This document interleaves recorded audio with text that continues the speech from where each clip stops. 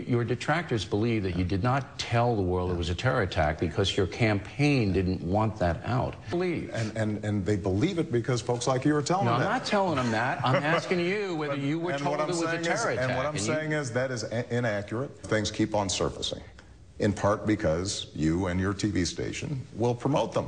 but don't, but when folks you feel actually, there are unanswered questions? Bill, when you actually look at the stuff, there have been multiple hearings on it. You're the leader Absolutely. of the country. You're saying no corruption. No. None. No, there were some there were some boneheaded decisions Bonehead out decision. of out of a but no local mass corruption. Not even mass corruption, not even a smidgen of corruption. Mr. President, why do you feel it's necessary to fundamentally transform the nation that has afforded you so much opportunity and success? I don't think we have to fundamentally transform the But nation. those are your words. Prediction for the game. Who's going to win the Super Bowl? I can't make a prediction. I don't know. These guys are too evenly matched. I think it is going to be 24-21, but I But don't you know don't who's know. going to be 24, and I don't know who's going to be 21. Mr. President, thanks very much. You know, I know you think maybe we haven't been fair, but I think your heart is in the right place.